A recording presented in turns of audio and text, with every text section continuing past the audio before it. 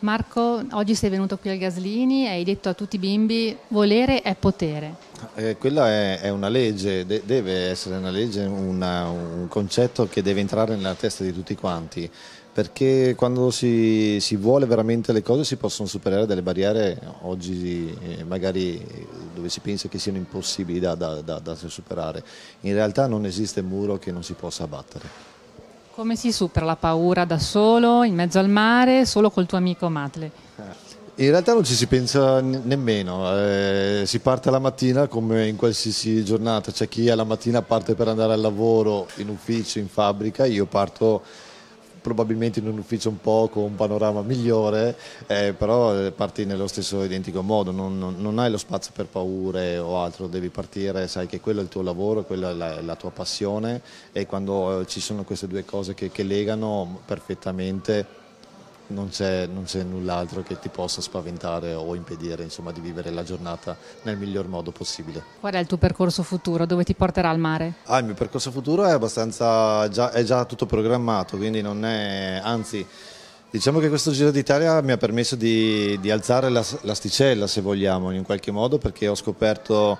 eh, nonostante abbia tanti anni di vela sulle spalle, tanti, tanto mare, tanto lago e quant'altro, tanti eh, campionati del mondo, eh, campionati italiani e quant'altro, però ho capito invece in questo lungo viaggio, cinque mesi di mare da solo in barca, sono, eh, ti insegnano tantissime cose. Quindi quel sogno nel cassetto che era la traversata atlantica in solitaria, in realtà sta quasi passando in secondo piano, cioè sarà una meta sicuramente la prossima meta importante mentre quella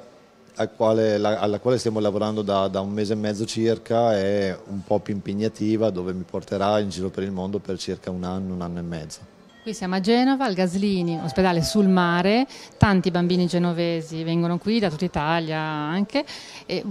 che cosa puoi dire a un bambino con una disabilità motoria che ama tanto il mare? Ah, di Beh, sai, dipende perché se stiamo parlando di bambini posto, posto intervento e quindi che ha un, ha un, problema legato più che altro temporalmente per eh, la riabilitazione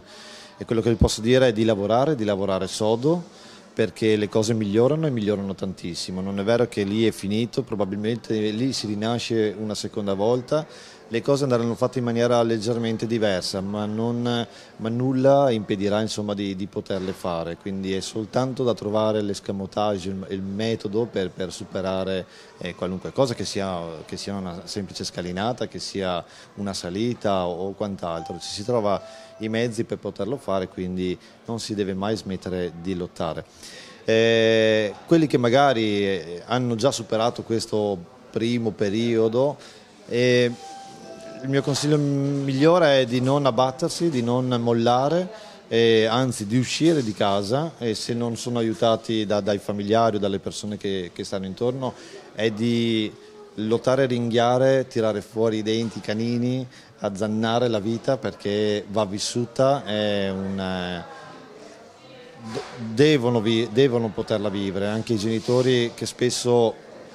mi, mi, mi, duole dirlo, sono il problema maggiore perché, perché temono tante cose. In realtà le, le, cose possono succedere anche in casa, quindi io in ospedale ho incontrato molte più persone che si sono fatte male seriamente in casa che, che fuori. È ovvio che fuori magari con le moto o le auto è, quando arriva il trauma è un trauma importante, però è, non è giusto ecco, tenere i bambini in casa, tenerli chiusi, è, giusto invece farli uscire, fargli vivere la loro vita, ne hanno tutto il diritto nonostante le problematiche, e fargli tornare un po' di sorriso, perché questo li aiuterà anche nella vita eh, con l'autostima sicuramente più cresciuta e anche con delle esperienze, un bagaglio di esperienza, di, di autonomia sempre migliore, gli permetterà di vivere, eh, avere una qualità di vita eh, sicuramente maggiore. Quindi a tutti quanti, ecco, quello che dico sempre, eh, non smettete mai di lottare e, e se pensate che le cose siano complicate, in realtà non lo sono. Come dico sempre, volere e potere.